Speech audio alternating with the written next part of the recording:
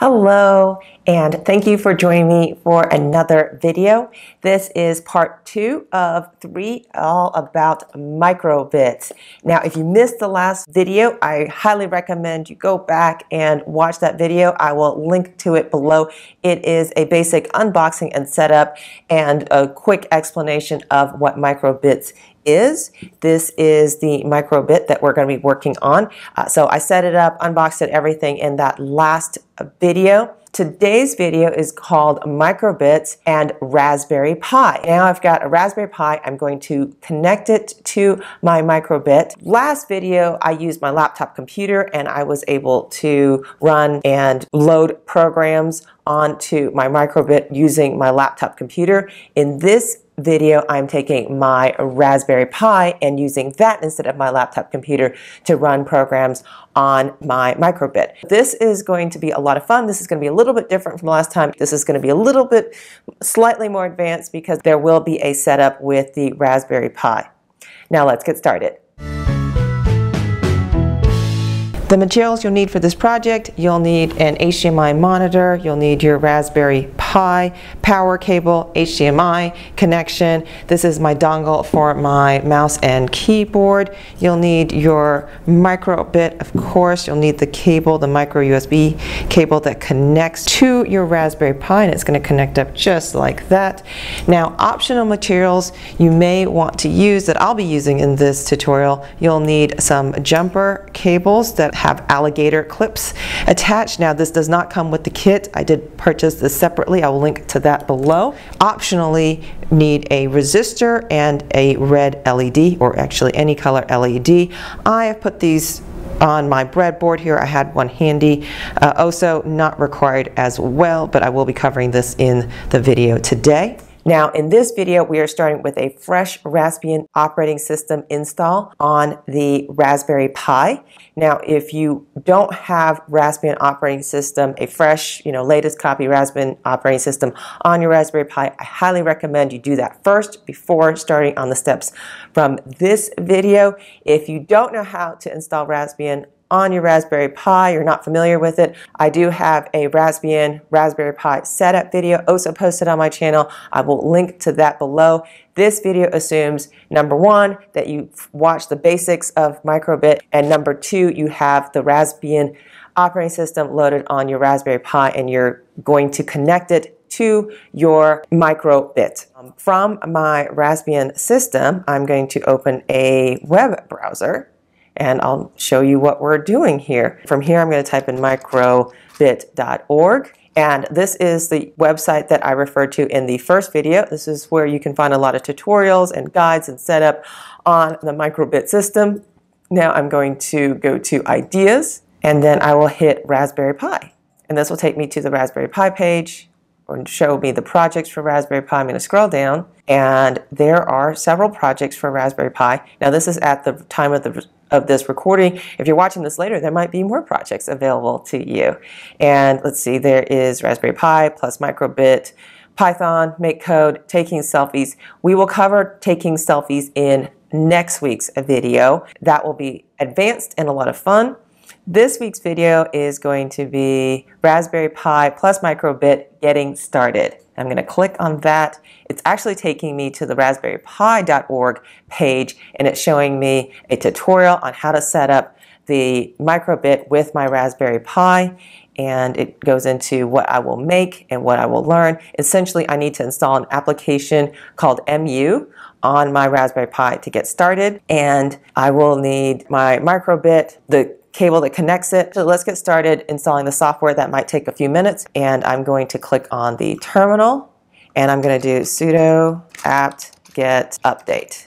And this might take a few minutes to update everything on the Raspberry Pi. And this is just good practice if you have, have a Raspberry Pi to do an update on it. All right, well, that did not take as long as I thought it was going to be. Uh, apparently, it was already updated. So now I need to do a sudo apt-get install mu-y. I'm going to right-click, hit copy, go back to my terminal, right-click, hit paste, or you could just type in. And that's going to take a couple of minutes. We're going to be installing the mu application on our Raspberry Pi and I'll be right back. And we just completed installing MU into our Raspberry Pi and these are the terminal commands. Now I'm going to click Getting Started with Microbit and it's going to start MU. It's giving you some instructions on how to start MU. You do want to plug this in, but let's go ahead and follow the instructions. I'm clicking on the Raspberry drop down, then I go to programming, and then hopefully for you, MU, the application. It wasn't there before, it is there now after this installation. I'm going to click on that and hopefully we are starting up the MU. Now I'm going to select BBC Microbit and I'm going to click OK. I'm going to click on REPL. So that is the next instruction in this tutorial. Got a new menu, then we plug in our microbit, as you see here on my screen, use MU, and then it goes through all of the menu options, new load. So this is similar if you're used to Microsoft products, for example, Microsoft Word or PowerPoint, Excel, you open a program, you load something, you save it. What is different is there's something called Flash. And this is how we're going to flash our code onto our microbit. And then REPL is actually if you want to do something real time, you want to push some code to your Raspberry Pi without having to first flash it, REPL is a way to do it. Not everything can be done by REPL, but we're going to try that out first. And so I'm going to click using the REPL. And I'm just going through the tutorial here, and you can do this on your own at home. I can uh, try this out. So I'm going to right click, hit copy, and then go to MU. And I'm going to try this. Let's see if this works. I'm going to paste, right click, paste. If you look at my um, other camera here, look at my screen, uh, you'll see it said whoop whoop. Okay, let's try this again. That, that went kind of fast. Copy, paste, and hopefully it will say whoop whoop on my, there it is, and it's going. And that is one way that we can uh, put code onto our microbit. So this is different from what you saw last week with our laptop computer. On the laptop computer, you had to create your code, then you had to save your code, then you had to download a file, then you had to upload it to your microbit. Now you can real time use something called REPL and you can see your results immediately. We're not going to be doing REPL most of the time, but that was a quick demo of how REPL works. I'm going to close out REPL, so all you, it's a toggle, so I'll just click REPL again. And let's keep on going in writing and pushing code to our microbit. Now, this is a set of code. I'm going to hit copy and it says while true, if button A is pressed, it's going to say A pressed. If button B is pressed, it's going to say B pressed. Okay, excellent. And then you're going to call the file whatpress.py. Okay, so let's get back to mu. It says write your code here. I'm going to paste the code. You're going to want to save this. And please do note where you're saving things just so that you can go back to it. Pressed .py, and then let's go back here. And then now I'm going to hit flash. Not find attached microbit. Uh-oh. Let me try this again. I'm going to eject this, replug that in there. Okay, now it's detected my device. Hit cancel. That is the pop-up you're supposed to get. This is the program that I created last episode on my channel. It is a clock. I thought that'd be kind of fun. And I'm gonna hit flash now and you'll see it go away. Let's see if the new code works. And the way it works is if I press button A, which is over here, it should say A pressed. Oh, look at that. It works. And that was the button A was pressed. Now I'm going to hit button B.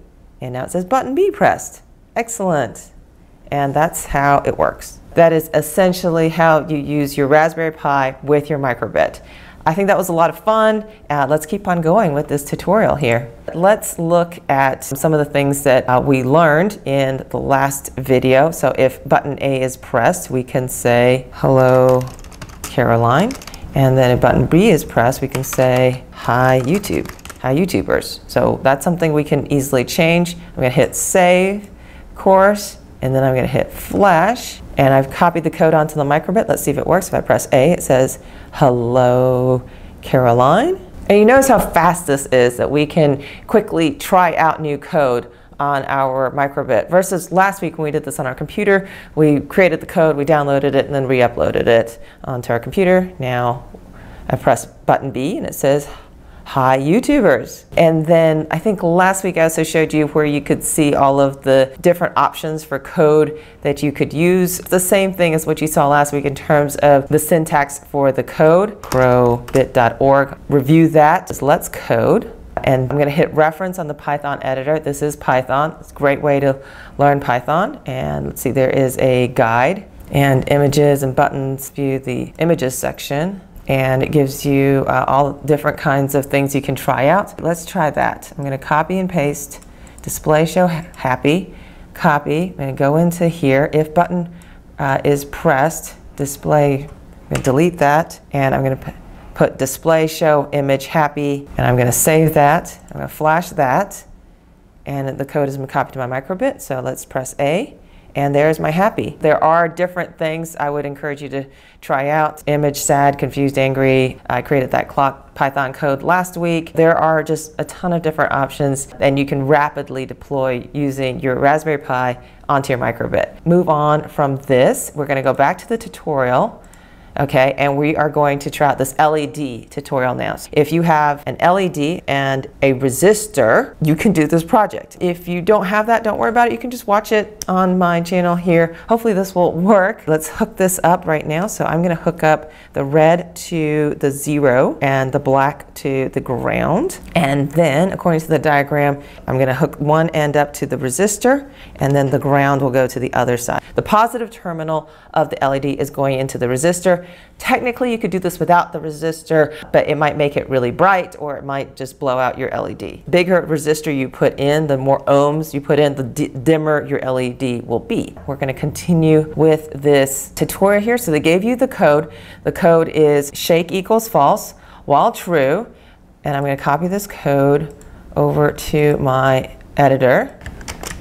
Here it is, uh, microbit import, shake false, while true. If shake, then we're going to write digital pin 1, and then else write digital pin 0, display clear. Um, basically, so if you shake it, the, the light should come on. I'm going to save this file and then flash this file. And let's see, let's see if it works. I'm going to shake it and I see this comes up and then my uh, red LED just turned on and it's going to be on for 500 seconds. So it determined that I did shake. Uh, so there it went off and I'll shake it again and then the red LED comes on. The square display image square uh, shows on my microbit and then the red LED turns on. Once that 500, that sleep 500 completes, then the light will go off.